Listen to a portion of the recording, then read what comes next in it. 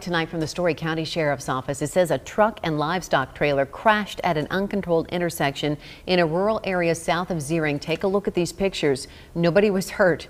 The Sheriff's Office says Story County has more than 300 of these intersections with no signs or traffic controls. The sheriff asks drivers to pay extra attention when driving on rural roads, especially when line of sight can be reduced by tall corn.